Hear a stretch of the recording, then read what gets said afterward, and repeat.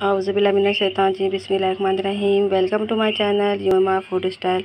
अस्सलाम वालेकुम आप सबको मेरी और मेरी फैमिली की तरफ़ से बहुत बहुत रमज़ान मुबारक हो। अल्लाह ताला हमें इस मुबारक महीने में रहमत और नहमतों से नवाजे और हमारी तमाम इबादत को कबूल फरमाए।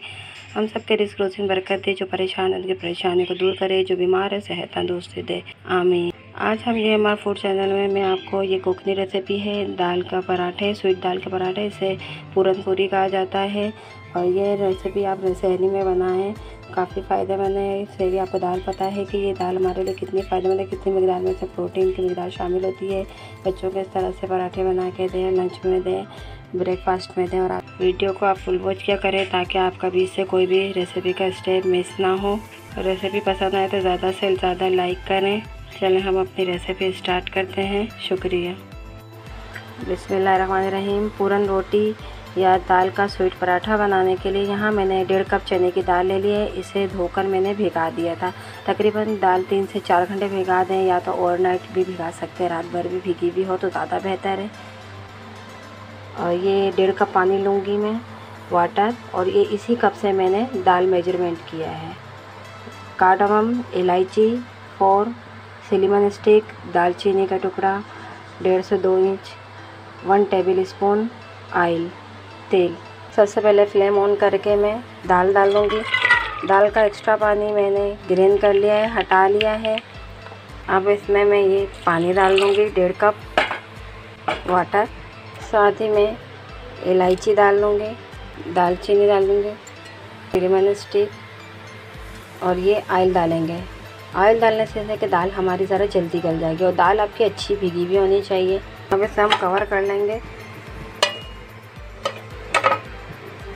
इतना पकाएँगे कि दाल हमारी अच्छे से सॉफ्ट हो जाए, गल जाए। आँच आप मीडियम रखेंगे। दाल बॉयल करने में अगर झाग आ जाए साइड से तो चम्मच से हटा दीजिएगा।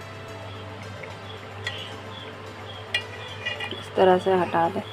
यहाँ मैंने जगरी लिए गुड़ लिया है। गुड़ को मैंने कूट लिया है थ्री फोर्थ कप तीन बटा चार कप गुड़ लिया है। शुगर लिए, वन फोर्थ कप, एक कप का चौथा हिस्सा। आपकी मर्ज़ी, आप दोनों चीज़ें भी यूज़ कर सकते हैं। या इसकी जगह आप सिर्फ़ चीनी में भी बना सकते हैं या गुड़ में भी। दाल आप देख सकते हैं, पानी बिल्कुल ड्राई हो गया है और अच्छी सी सॉफ्ट हो गई है दाल। अब इसमें हम ये जो गुड़ मैंने रखा था कूटा हुआ इसको डाल देंगे। और साथ ही शुगर डाल के इसे मिक्स कर लेंगे कि अच्छे से इसमें पक जाए। अब चीनी और जो गुड़ का पानी निकलेगा, उसी में ये पक जाएगी। का पानी ज़रा ड्राई कर लेंगे। तकरीबन पाँच से सात मिनट में पानी इसका भी ड्राई हो जाएगा। यहाँ मैंने सोल्ट लिया है टू पिंच दाल में डालूँगी। साथ ही मैं ये नमक भी डाल लूँगी। मीठे में एक दो पिंच नमक डालना अच्छा होता है। इससे जायका और अच्छा निकल के आता है इसे भी मिक्स कर लूँगी। कोई भी सूट्स बनाए इसमें, एक चुटकी या दो चुटकी सॉल्ट ज़रूर डाल दिया करें। आप देख सकते हैं, दाल में चीनी और गुड़ का पानी ड्राई हो गया है। अब मैं इसे फ्लेम ऑफ़ कर लूँगी, चूल्हा ऑफ़ करके, इसे मैं ठंडा कर लूँगी। आप देख सकते हैं, दाल ठंडी हो गई है। दाल को अभी मैं सिल पर पीसूँगी। मुझे सिल पर पीसना ज़्यादा बेहतर लगता है। आप चॉपर में भी पीस सकते हैं। और ये दाल देख सकते हैं कितनी अच्छी सॉफ्ट गल गई है, नरम हो गई। देखिए, चम्मच से भी ये मैश हो रही है। अगर आपके पास चॉपर भी नहीं है तो आप इस तरह से मैश कर सकते हैं और इस तरह भी इस्तेमाल कर सकते हैं। लेकिन दालचीनी और इलायची जो आपको मैंने बताई है, उसे पाउडर करके आप डालिएगा ताकि उसमें अच्छे से मिक्स हो जाए। दाल मैंने यहाँ पर पीस लिए सिल पर सिल पर पीसते हुए आप एक ध्यान कीजिएगा कि आप सिल पर पीस रहे हैं तो अगर वो मसाले का सिल है तो उससे पहले अच्छे से क्लीन कर लें, कोई भी चावल डाल के अच्छे से पीस लें और फिर धोकर फिर ये दाल पीसिएगा, वरना फिर इसमें भी स्पाइसी ये हो जाएगी। यहाँ पर मैंने आटा लिया है, जो फाइन आटा है गूंदते हैं। मैं गर्म पानी से गूंदती हूँ तो उसके रोटी का जो आटा होता है, वो लिया है। आप इसकी जगह, आप जो भी आटा रोटी बनाते हैं तो वो ले सकते हैं, या तो मैदे में भी बना सकते हैं। मैदे में सिंपल आप नमक डाल के और थोड़ा सा ऑयल डाल के गून लें, या घी डाल के, उसे गून के पेड़े बना लें तो उसमें भी आप बना सकते हैं। और आप इस आमेजे को बनाकर फ्रीज़ कर सकते हैं। काफ़ी दिन तक सेफ़ रखता है। फ्रीज़र में जब भी आपका दिल करे, आप निकालें, हमें पराठे बनाएँ, बच्चों को लंच में दें स्कूल में, शहरी में भी बनाकर खा सकते हैं। सबसे पहले मैं एक रोटी का पेड़ा ले इस तरह से और आटा गून के हमेशा आपका सेट किया हुआ होना चाहिए। तो उससे फिर आसानी होती है बनाने के लिए। इस तरह से पेड़े की छोटी सी रोटी इस तरह से बना दें और फिर इसके अंदर हम अमेज़ा डाल देंगे जो हमने दाल का मैंने आपको जो बताया है। इस तरह से। ये रोटी हम शहरी में बनाते हैं, बहुत मज़े की लगती है।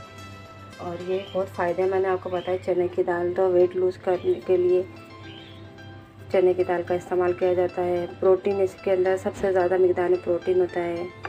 और इस तरह से देखेंगे बंद कर लेंगे हम।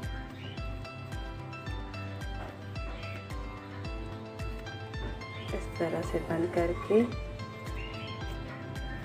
जो इसमें ऊपर जो एक्स्ट्रा आटा है वो हम हटा देंगे। मैंने इस तरह का और भी आपको पराठा सिखाया है, कीमे का। आप उसका लिंक मेरे डिस्क्रिप्शन में देख सकते हैं। इस तरह से थोड़ी सी खुशकी डालकर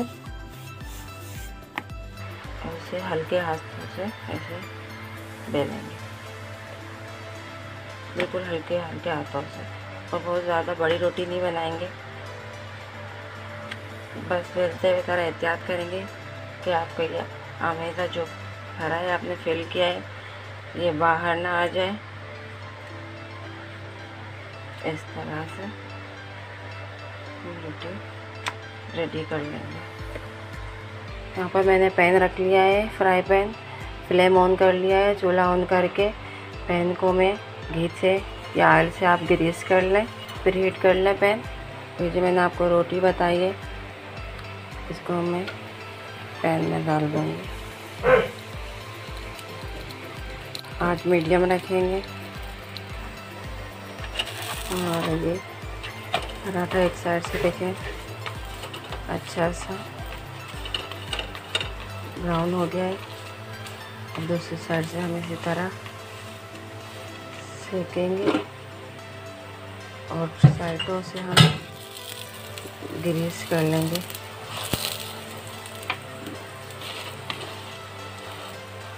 और इस तरह से प्रेस कर लेंगे, ताकि दूसरी साइड से भी अच्छा ज़बरदस्त सा गोल्डन हो जाए। दूसरी साइड से भी डन हो गया है। तो मैं इसे डिशार्ट करूँगी, इसी तरह दूसरे पराठे भी रेडी कर लूँगी। आप देख सकते हैं कितना ज़बरदस्त लुका है पराठों का। इसी तरह से बना है शहरी में। आपको मैं कट कट के बता रही हूँ। अब इंजॉय करें।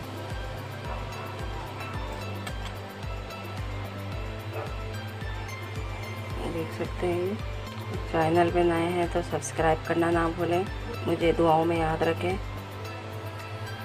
अल्लाह हाफिज़।